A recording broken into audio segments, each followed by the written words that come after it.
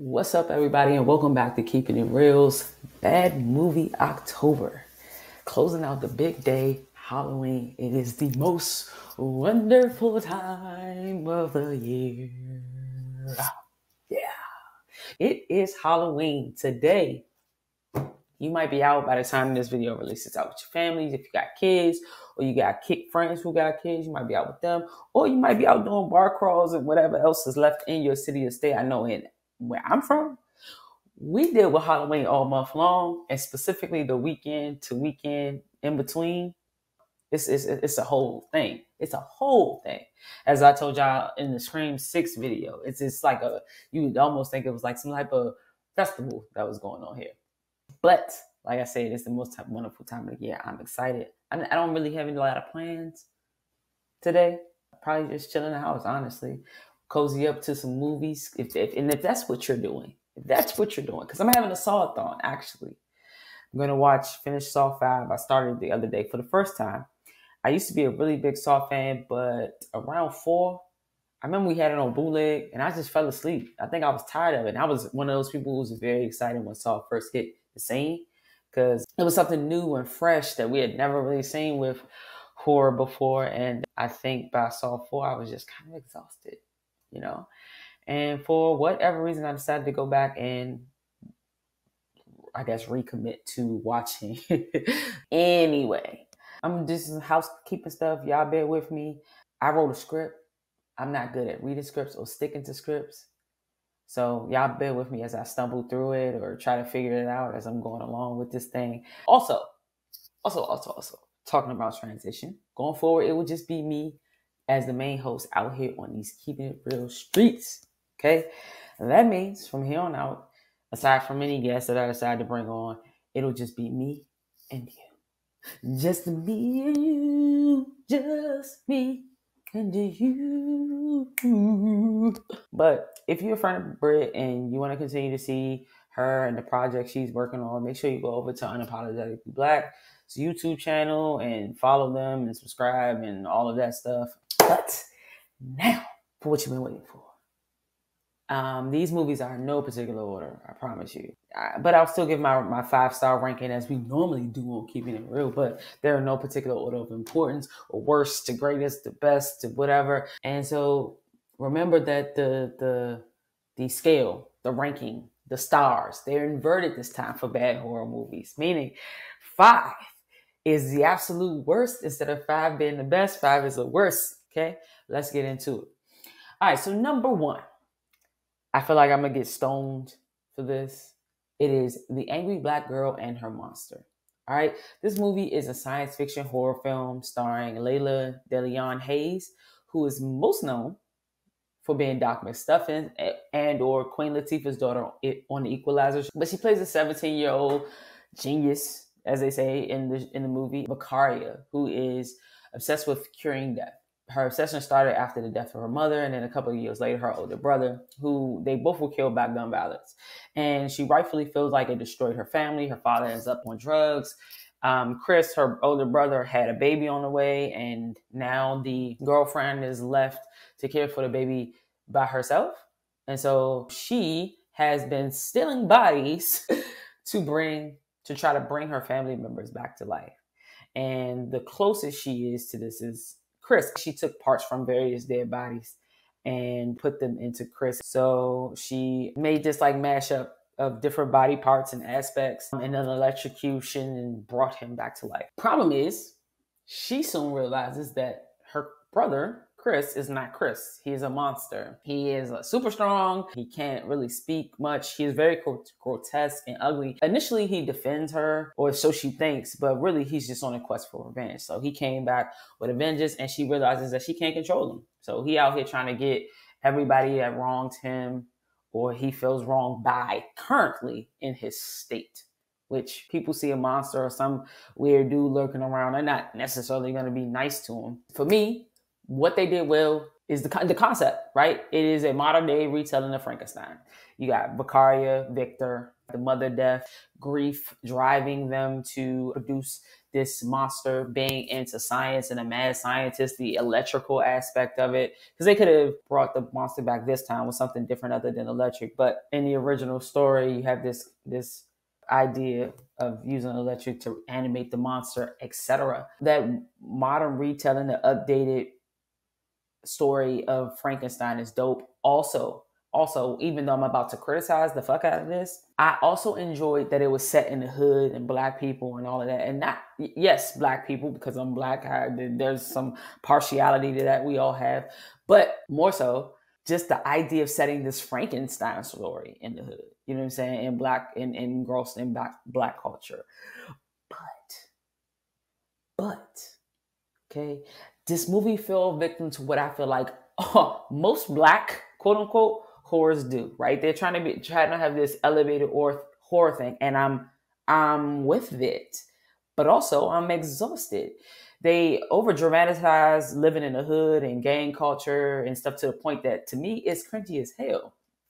Like I grew up in the hood, right? And when I look at when I look at TV shows and stuff, I can often tell that to me, what seems like these people who create these movies have never actually lived it. They just kind of go off of what their impression of it is. It's almost like an exaggerated form of BET or something to me that are like real life situations. And it just gets really, really cringy or like really like that's not it, it for somebody who grew up in this thing. It it becomes hard to relate to these people. And then the other thing is like, no matter how many physical threats they are, right? You have this monster running around. Sometimes you have ghosts, you have actual people trying to kill you. It is that racism always has to be a boogeyman somewhere lurking in the corner. And I just it, it, it gets so heavy handed with the social justice messages or themes in it. It's like it's it's super exhausting. I I just want to watch a movie sometimes. I just want to just straight up watch a movie. I don't feel like white people do this. Like every every movie that comes out isn't just dripping in their circumstance, whatever that be, right? Like cool, we have movies. Uh, I'm gonna say like for Eight Mile, even though that was more realistic. That was about people living in a trailer, but I did. I felt the struggle of living in a trailer home, but that wasn't the basic basis of the movie. It was about making it and getting on and all of that. I didn't feel like it was bogged down by these heavy-handed social justice themes about white people living in trailers. You know what I'm saying? I, I don't know how else to put that. But like I said, the shit is exhausting to me. I sometimes I just want to see black people doing regular regular shit and getting killed off regular. I don't think there's anything wrong with talking about social justice issues, the grave mistreatment of black people that we have to face and had have historically had to face and portraying how some of us live. But I don't think every single black movie and specifically black horror movies needs to be trying to make these points and then terribly, terribly, terribly, I might add. I, it's just, it's so frustrating to me. And then what they tend to do, the plot and the dialogue somehow gets hinged on these messages and themes. Again, that's the heavy handedness or whatever. And so the characters start behaving in ways that that are unnatural. And, and what it does is it ends up stripping the messages and the themes of the actual point. Like it, I, I don't know how to harp on this anymore, but I'll go back to Swarm. Right, I didn't really like this show for this reason. The, the police officer made this comment about how black girls go unnoticed. She's a serial killer, so she didn't pop up on anybody's radar because she's black. But son, like you wrote the show for her to get away with it. You wrote it like that. You know what I mean? Like I don't know if in real life that would necessarily you can't say oh we're over policed and all of this stuff on one hand and then also say we go unnoticed for being a serial killer on the other hand. It does not make sense. You wrote it this way. You're trying to make a point that i'm sorry the intended audience will not get they just will not get because it's so heavy handed it makes it completely unrealistic. I was like fuck it. But i kept watching it because i was like maybe this movie will surprise me. But what I was I walked away from it still feeling a little whelmed, and not because it didn't necessarily meet my standards in that regard. More so because I don't I didn't feel like I spent a lot of time with the with the actual monster. I, I, he, he was like killing people and stuff, and like it was, it, it just didn't hit. It just didn't hit. I don't know how to say it. They, the, the kills didn't hit. I didn't spend enough time with them, like like literally on screen. Like by the time the, the when the monster's introduced, there's a lot of runtime in the movie for you to spend with them, but you don't actually get to spend that time with this monster or her actually confronting this monster. So I felt mm, meh about it. You know what I mean? Like I don't know. I want my movies to I want to spend time with the monster. I want to see the kills. That is what I'm here for as watching a horror or a psychological thriller that crosses over to the horror genre, whatever. I want to see that. So to wrap this all up, the movie gets three stars. It wasn't terrible. It definitely had its moments, but like I said, it left me kind of whelmed. Like not over, not under, just hmm, whelmed. To number two. Number two is the Cult of Humpty Dumpty. Now, y'all heard Bert talk about this movie, and I finally got around to watching it, and boy, boy, it was it was bad. It was bad. It was so bad. It was bad, not like in entertaining entertaining kind of ways that I like. It wasn't bad, like frustrating. It didn't piss me off or anything. And maybe somebody found it entertaining. Like uh, there are people online that like this fucking movie and the first one because it is a sequel, but I did not. I just found it boring there are certain sins that I cannot get past, and this movie committed them.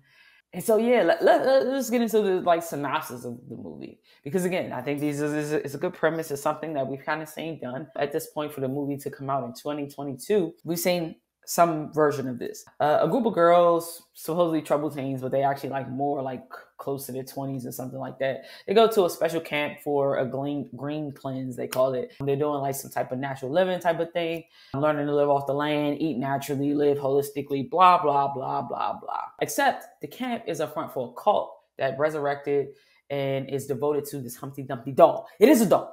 I initially did not think it was a doll. I thought it was like its own it was like a creature, but it is a doll who is some version of a trickster god. The thing about it for me is like it doesn't know to me whether it, it I guess it would be a supernatural or paranormal slasher because on the one hand, this demon doll thing eats the girls alive, but then it also kills them with knives and other things. And I think I only saw him eat one kid I, I don't know. The movie didn't really hold my attention very long. Supposedly, there is a message about dementia and like the impact of it, that it has on people's families. But you know, I'm not smart enough, you know, to have gotten that, or the movie just wasn't holding my attention. I, I almost fell asleep on it. I, I was so bored. So for that, call to Humpty Dumpty, you get five stars. Five stars. You don't get 10 like Winnie the Pooh because you weren't entertaining. You were not. You were just bad. Just bad. I can't believe there's like a following for you online, but somebody's got to like it, I guess. Moving into number three. I have a fondness for this movie at my heart, like similar to Pinocchio's Revenge, because it was one I, ch- I discovered in childhood. You know, I, was there, I discovered it as a kid. Dolly Dearest is a supernatural slasher that was direct to video, and I either we either had the VHS at some point or I like found it on TV. So synopsis is about a family that moves from Cali to Mexico because the father is the owner of he becomes the owner of the Dolly Dearest factory. The factory is next to an archaeological dig, and one of the archaeologists ends up accidentally releasing the spirit of Sanzia, which is supposed to be Satan, or the child of Satan, or Satan engrossed in a child's body. It had like a goat head and a regular body. The Mayan people eventually like killed the thing because it was like too evil, and now the spirit dwells in the archaeological area. Somebody lets the spirit out. And then it flees and goes into a doll. Dog gets then attached to a little girl. Little girl starts behaving weirdly as, you know, the spirit tries to take her over and you know, bodies start dropping and they eventually uncover the story and then destroy the Sanzia. All right, this is not an original at all. It is not an original storyline. It is something we've seen time and time again. I don't know how much we saw it by 1991, but we had already had things like the Poltergeist that dealt with this like supernatural entity and possessed doll thing is this is the main point here. It's bad mostly because of the acting and um while like the movement, speech, and the sounds of the spirit and the doll, I think were very common in 1991 and before like that time period. They just didn't age well. it the CGI shit for that time period. It is not like you know having these old animatronics and stuff that just look terrible now. Back then, it would have looked right for the part, but the CGI is just terrible. It looks like somebody like scribbled on screen sometimes. It, eh, the story's not particularly scary either, but it did. It I will say it walked so Annabelle could run, and Annabelle is not a good movie. It almost made the list as well, but I could not force myself to rewatch it. And I'm talking about the first Annabelle. I wouldn't even go see the second and third ones because Annabelle, the first one was so terrible. The same thing with The Nun. They have just ruined the Conjuring universe altogether. A bunch of those movies almost made it. For Dolly Dearest, I give it a three. It is probably worse. worse? Especially with the demon making the little noises that it makes.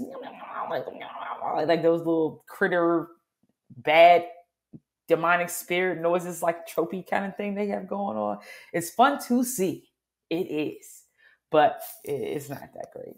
Coming in at number four and last on the list is a movie called Murder Party. Similar to Humpty Dumpty, it's just bad. It's just bad. Maybe it's because it's considered a horror comedy, and I typically don't enjoy horror comedies. When they are together, I tend to not find them either scary nor funny. I actually just end up wondering what were they trying to do? Like, I, I just don't get it. So I could be judging this movie harshly based on the fact that that's just not my thing it shows in the way that they act, move, speak, etc. is also very extremely low budget. I have nothing against low budget movies. Again, I watch them all the time. It is just bad in a way that I don't like. It commits the sins like Humpty Dumpty, bad CGI, bad effects, bad costumes, bad acting, bad, bad, bad, bad, bad. But this is what it's about. The main character, Chris, he finds an invitation to a Halloween party uh, somewhere on the street. He decides he's going to go to this Halloween party he makes a terrible, terrible, terrible knight costume out of cardboard boxes. I didn't even know what it was at first. He goes to the party and he quickly finds out it's a trap set by some crazy art student. Typical art student craziness, art people craziness, anything for the arts and the peace and for funding. So naturally they want to murder someone as a as a way to make a piece to impress some dude named Alexander who is their rich and powerful sort of and sinister grantor he he patrons them their work all the time and they think that he's dark and they have to do something really crazy and over the top to impress him. So in order to get keep getting money and keep getting funding all hell breaks loose and they end up killing not only themselves and each other in the process of trying to kill Chris. Chris actually walks away scot free. Spoiler alert. Bad kills too. I think that's another thing. I just thought about it, like how it ends, how how he gets away. He kills somebody with a hard loaf of bread. Yeah, I just. Uh, I guess it's supposed to be ironic, funny. I just I don't get it. I don't it, wasn't even done. The kill with the loaf of bread to me wasn't even done in a funny way. It's done in a way where you can mock it and it's funny, but on screen it's not. It's not good. It's not good. It's not good. I don't have any more to say about it. This is, yeah. I think the concept was great. That is a good thing. Did I say that? The concept was decent enough. I think that I've never, I don't think that I've seen anything like that. I've seen this thing. Obviously, you have the sort of same thing with Cult of Humpty Dumpty, where you go one place and then you find out that it's like these cultish people and they're crazy and all of that type of stuff. But it being art, contextualized in art and stuff, I don't think I've seen anything like that. I, nothing comes off the top of my head, at least. I'm pretty sure I have. But, anyways, this movie gets five stars. It is just bad. It is just bad. It is just bad. you, if you can find it, you might like it. I don't know if horror comedy is your thing. Let me know in the comments and tell me why. Tell me what is the appeal of this thing. Convert me to horror comedy, okay? Because maybe it's something that I'm just missing.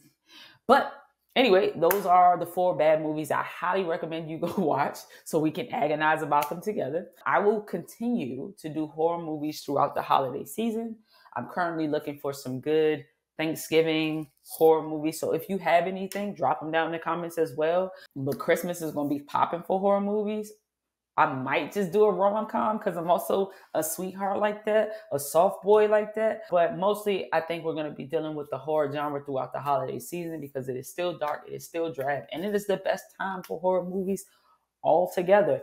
All right, so make sure you like, share, subscribe, and again, let me know in the comments what bad horror movies you like. If you like horror comedy, share that.